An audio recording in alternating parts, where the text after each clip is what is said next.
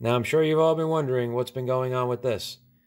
Well, quite honestly, not much. But as of late, I um, I ran into a situation where when I was making that bearing press, I said to myself, I said, self, after you hacksaw the threaded rod to length, how are you going to deburr it? And I said, well, I could take a file and take two minutes and just file the end, or I could put it into my Emco and I could turn a, a chamfer on it and I could face it down.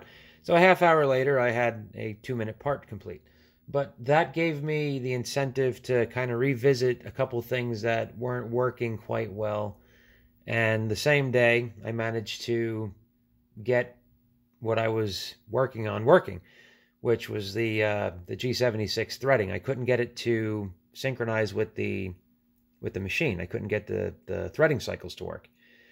So after a quick uh, consultation with Dr. Google, I found some information that led me to having to reverse the encoder scale going into the Mesa card. And after that, everything worked perfectly. So I've been tearing my hair out for no reason whatsoever.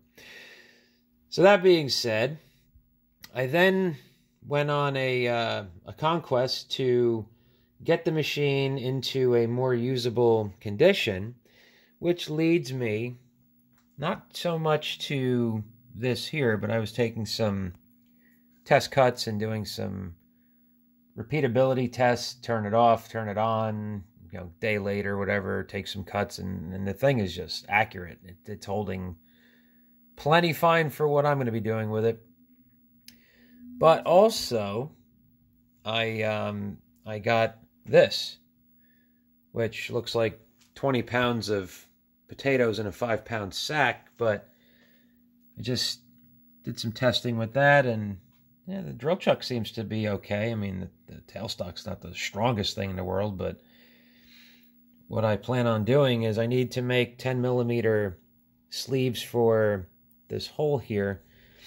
Uh, so 10 millimeter outside diameter with uh, varying inside diameters for the different boring bars that I'm going to be using. So what I'm going to do is, because I don't have live tooling and my poor mill isn't done yet, uh, what I'm going to be doing is, well, right after I sneeze. All right, I'll save you the, I'll save you the, uh, the the beauty of that. Um, what I'm going to be doing is I'm just going to cut the pieces down the way I would need them to the proper length. I'll, I'll drill and ream the holes. Um, I will part them off. I don't know if I've showed you guys this yet, but I actually did get a part off tool. Doesn't work the greatest, but if I go MDI and I call that up, that is tool number four, I believe. So T4, six.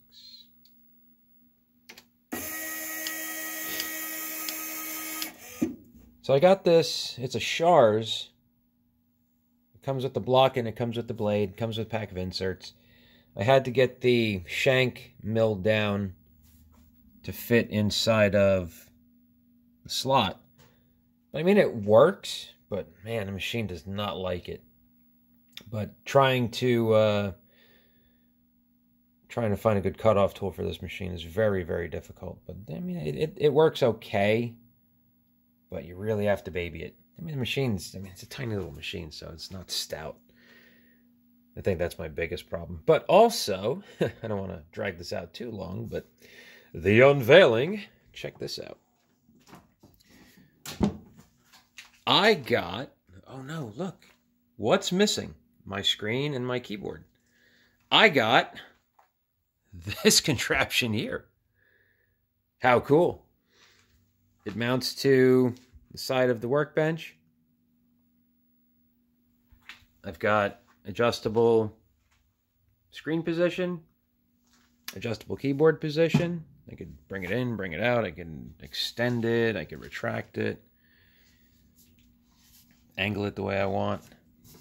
Tilt the keyboard up and down. So that's pretty cool. I uh, I'm quite happy with that. And now I've got you know full access to the touchscreen functionality, and it's up and out of the way from the rest of the machine, which I think is snazzy. And then in doing that, I also found these rubber grommets that take the place of the plastic plugs that come with the machine for whatever various accessories.